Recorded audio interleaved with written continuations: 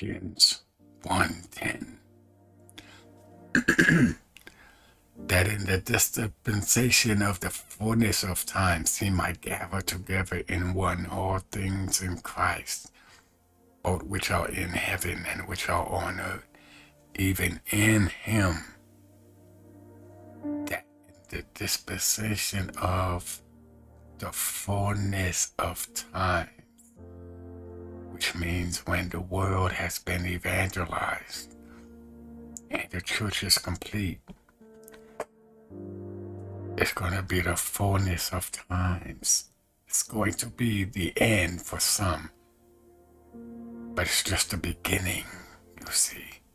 It's just the beginning because there's never an end. Because our Lord is infinite. So, in the fullness of times, when Jesus comes, He's going to gather all things together. All things one with Christ. He's going to come and get his church. Both which are in heaven, which are the saints, and which are on earth, which is the remnant. The church is the remnant. Even in him, even in him, those that are in him,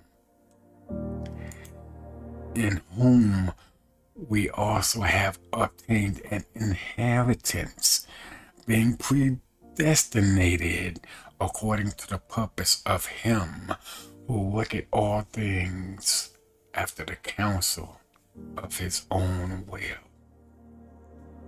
We also have obtained an inheritance sons of God.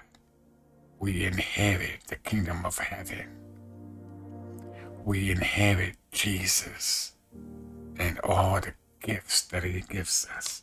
It's an inheritance, a treasure.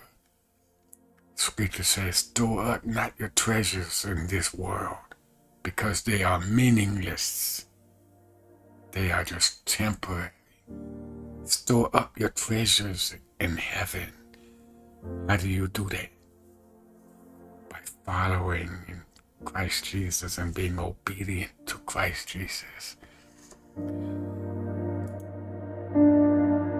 That we should be to the praise of his glory who first trusted in Christ. That we should be to the praise of his glory.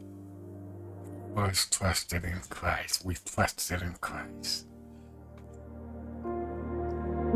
we trusted in Christ and we received the gifts and the treasures. We have the inheritance to the praise of His glory, not the world, because Scripture says we are saved by grace through faith, so that no man may boast, not of our own works, so that no man may boast. Amen.